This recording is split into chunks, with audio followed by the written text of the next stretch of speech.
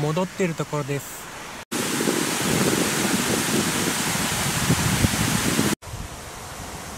坂原は秋太田町でした。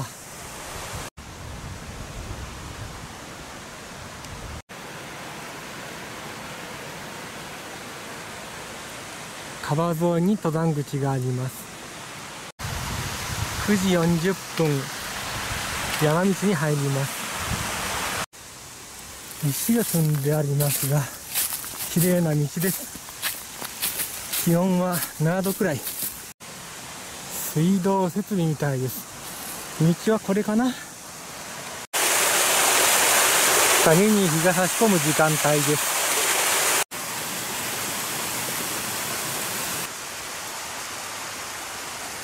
山に入っていきます。右は植林。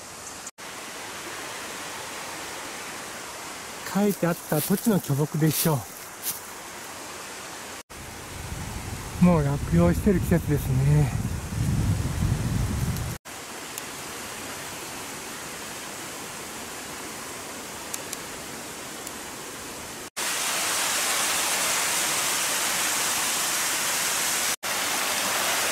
反対に渡ります。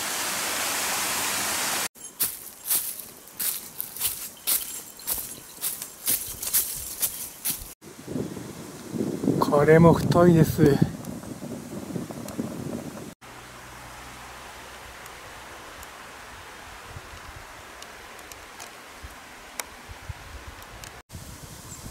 斜面のジグザグ道です。道がいいです。紅葉が綺麗です。これは赤いですね。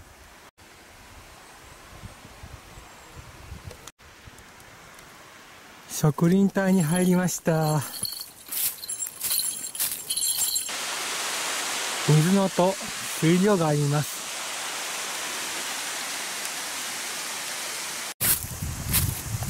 落ち葉を踏みながら歩きます。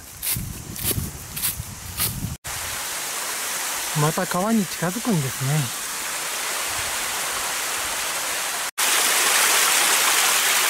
川沿いにリボンがあります。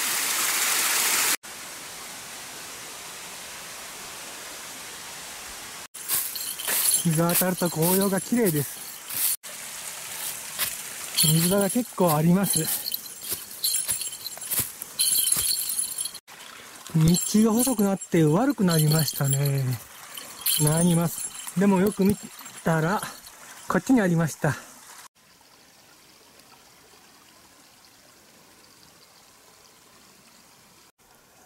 この沢も左に渡るんですね。南そして南西方向。尾根に出たみたいですがどうですかね。分岐はまだです。尾根だけど急斜面。植林です。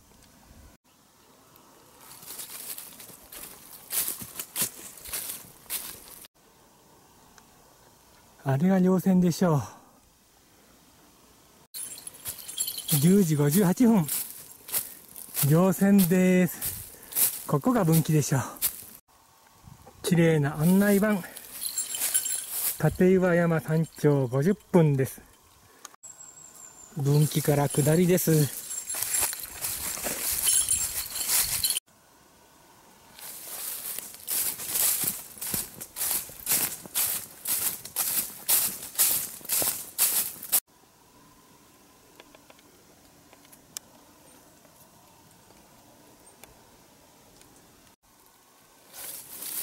昨日樹幹から西の山が見えてるんですがね。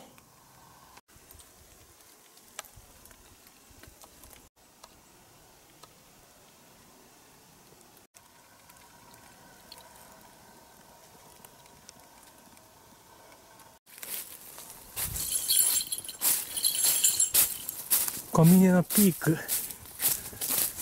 まだ向こうに高い山が見えます。杭があります。左が廿日市の吉羽町かな日が差し込んでいますね綺麗です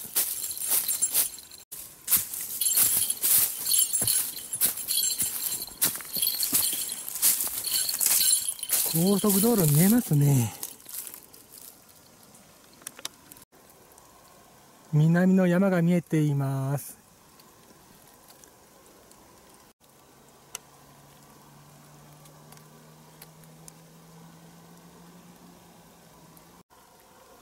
岩が増えたと思ったら岩場になるんですね。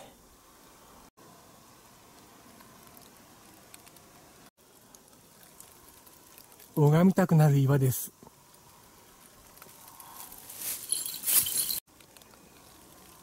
ロープ場です。ダム湖が見えてきました。十方山の方です。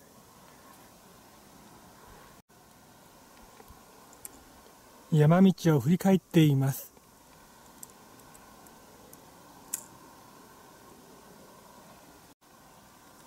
吉和冠山島根県との県境の方です。これは阿蔵寺山かな。こういった岩場いいですね。もしかしてあれですか？11時30分です。三角点ですね。ありました。立岩山山頂1135メートル。山頂からも景色がいいです。曇っていますね。十方山から向こう。お空観山見えてるかな？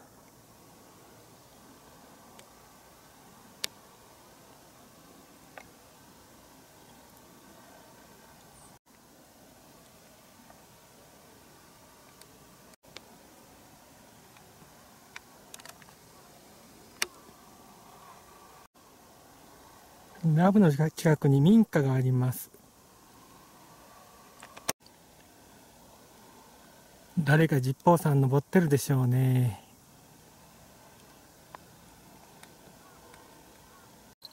山頂からは吉和冠山見えません。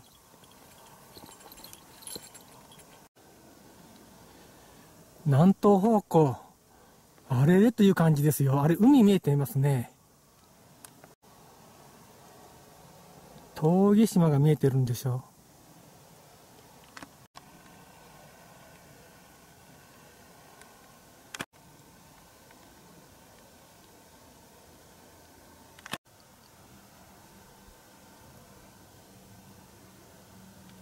口冠山がどっかにあるはず。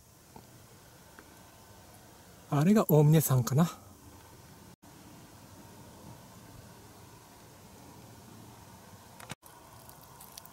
市間山まで1時間半くらい、うん、行ってみたいですね。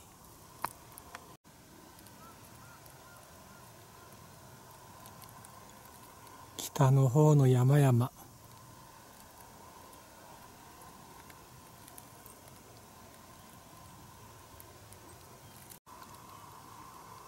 町が見えました自然林の紅葉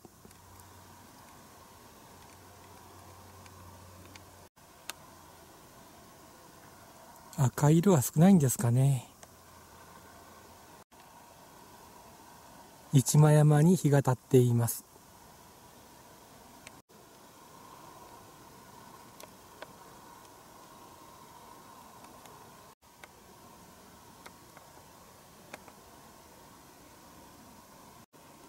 汗びのつぼみです。咲くんですね。12時過ぎました。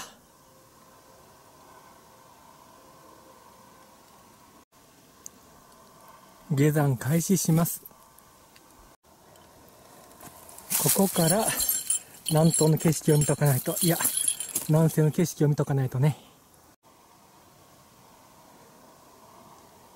西の方から南西の景色。吉羽冠山ガクガクさんの方でもあります。今から日の平山も登りたいですね。目かびら山の白いとこが気になります。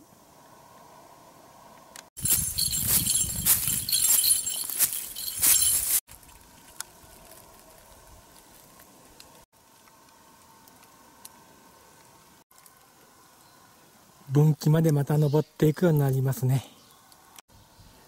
12時25分日の広山に行ってきましょう。笹に触れながら歩いています。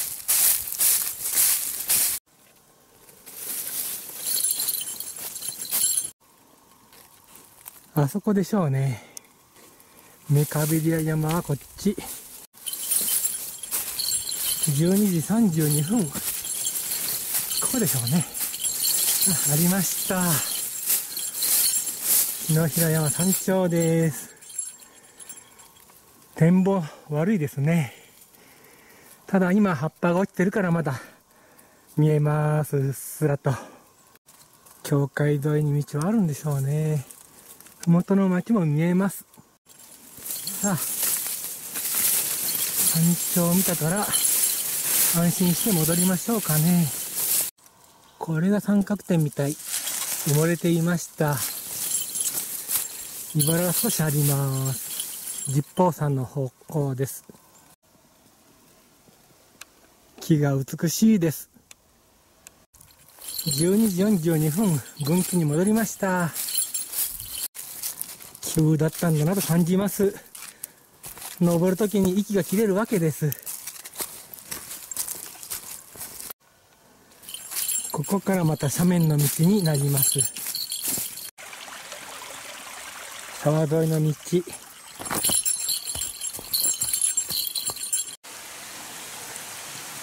落ち葉の山道です。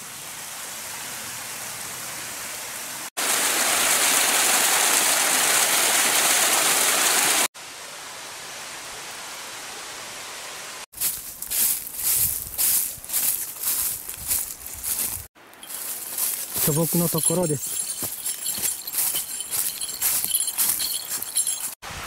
風があります。結構下りで足が疲れますね。